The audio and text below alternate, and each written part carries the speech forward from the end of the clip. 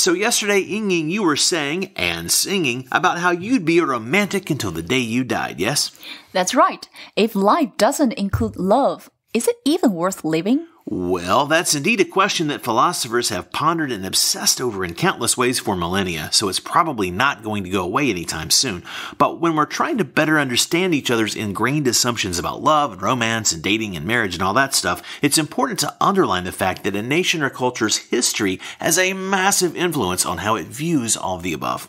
Exactly. And when looking at these things in China in particular, the last 100 years of history have specially influenced the dating traditions of today. On this episode, we'll talk about that, namely, how reactions to rapidly changing times in China's recentish history, roughly from the end of the Qing dynasty, has energized the huge series of cycles ever since.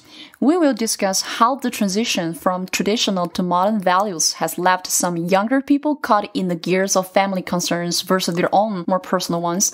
Dating and marrying for the sake of love alone is luxury that people didn't always have. And speaking of luxury, we'll look at why high material status is so valued here now when it comes to dating. What up with that, Ying Ying? Are you a material girl? Patience. More in a moment.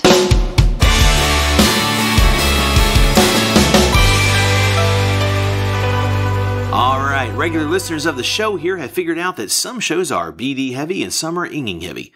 Guess which one this is going to be, folks. So, are you ready to do most of the talking today, Ying? I've had my coffee and ready to rock. Awesome. That is spoken like a true modern millennial person, I must say. But not that long ago, the odds of your counterpart from just a few decades back would probably not be able to relate. What would a talented 30 year old woman from Kaifeng, China's romantical life look like, say, 30 years ago? Well, to start with, there's almost no way she would be single. Dating back then was still totally focused on marriage. And she would probably have been married in her early to mid 20s. And she'd be chasing around a couple of kids and trying to manage a household while her husband was off work.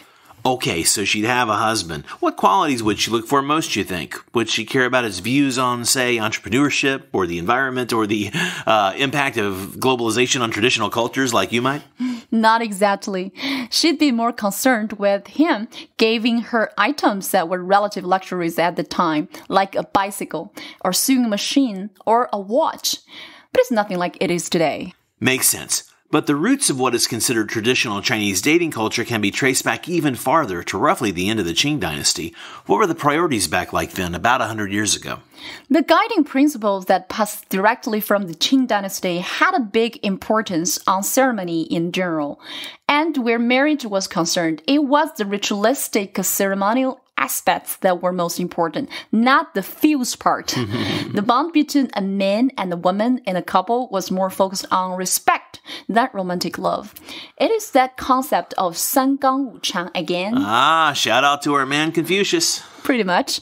As we know, in the modern era, love means choosing who you want to be with for love's sake. But back in the day, it was much more focused on having responsibility to your family. There wasn't the freedom to just follow your heart. Mm. Honoring your family meant honoring the traditional ceremony of life, which pays respect to Confucianism, as well as this concept Li that we talked about in episode 3. Ah, right, right, right. So from the 1930s all the way up to the opening up of 78, there was such a wild mix of influences on China's national psyche, including demographic shifts, revolutionary changes, invasions and wars, and so many other deep impacts, all of which were heavily intertwined, that the concept of dating and love culture was based in kind of a survival mode. The scientific view of the proper woman's role in the family in the early times was a reaction to all of these societal changes you just mentioned.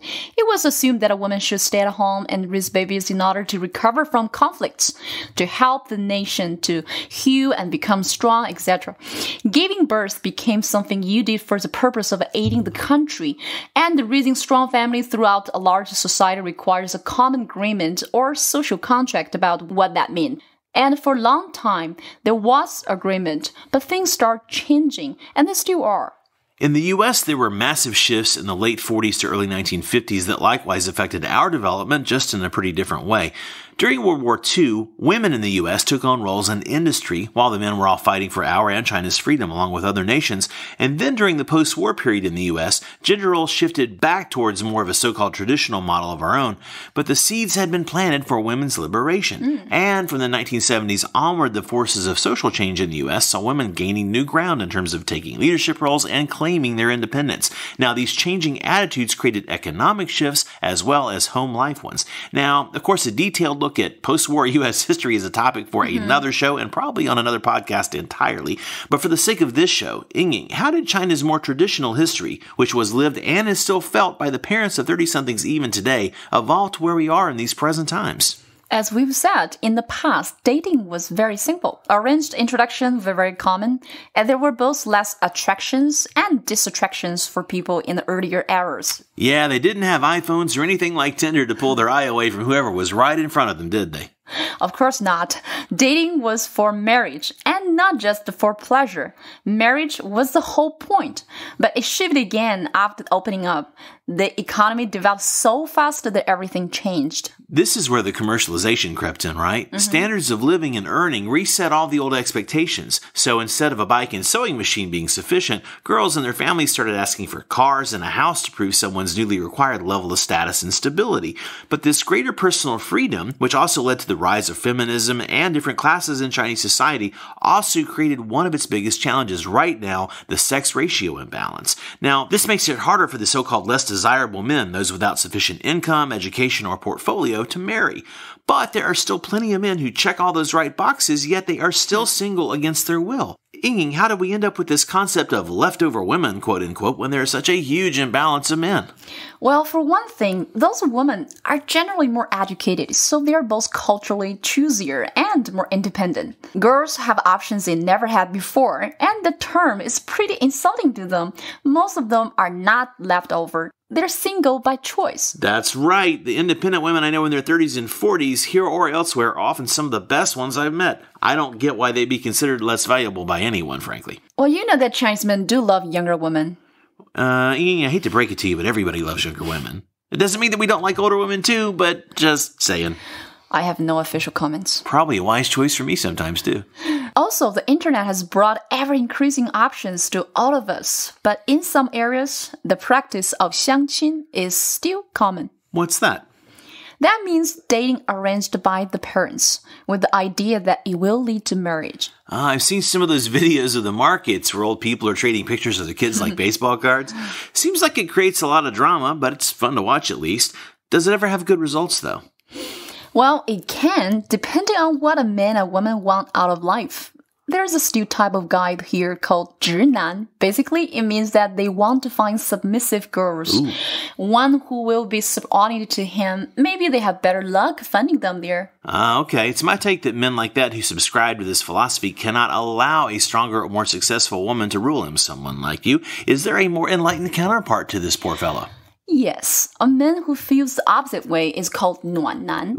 Uh, that's a caring, more empathetic man. Mm-hmm. You see those boyfriends who are happy to carry the girlfriend's purse when they're shopping in the mall? Those couples who really take care of each other. Yeah, yeah. Uh, that's more publicly obvious aspect of Nuannan, but it's both more subtle and goes much deeper than that. Oh, I think that's kind of sweet, but my girlfriend's bag is pretty heavy. I'm afraid she's on her own with it. You're such a romantic. I try, I try. So, what are some other influences on the shifting realities here in the dating and romance world? Well, now that China has moved on from the one child policy to encouraging higher birth rate, families will have more of them. But that does explain why people in their 20s and early 30s who were born under that policy still often have to take their family needs into more consideration. This means that one child often has to raise four parents. Wow. There's in-laws. So it's a big responsibility. No doubt. Well, someone has to help carry on the lineage and provide elder support, so that makes sense. But how did this seeming overemphasis on materialism get solidified? Now, of course, coming from Hollywood, I can't exactly be one to judge, but the amount of luxury you see here in the major cities is kind of staggering. I mean, I live in a nice middle class building, but there are freaking Maybachs in the parking garage. Wow. Porsches are as common as Peugeots in a lot of neighborhoods. Well, it's ironic to say that because as economic development and that West influence grow, especially after the opening up of the 70s, so did importance of material possessions here. Having some really nice things provides a feeling that kids and a family will be extra secure too. China has had a really rough ride to get where we're today, so many of the old poor country feelings remain deep inside. Once we overcome those, we will truly have reached another level level. But again, that's a story for another episode. Sounds great. Thanks, Ying Ying.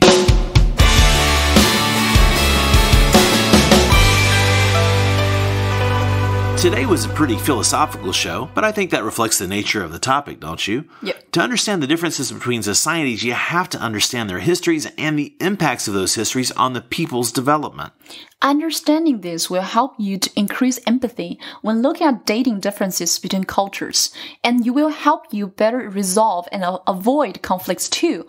As we move into the future, women are becoming more emotionally as well as financially independent. Big changes are happening and we're not all totally in harmony yet. But soon enough, attitudes toward love here will better line up with the rest of the world. We just have to catch up a little with each other and be patient. I think that's great advice all around. So, what's up next, Ying Next, we'll jump into the difference in online dating between East and West. Ooh, this right. should be a really fun topic. I think so too. One that we'll talk about tomorrow in great detail. Hello, Cupid and Tinder and Wamwa, etc. So join us then. I'm Brendan Davis. And I'm Ying Li. See you tomorrow on How China Works.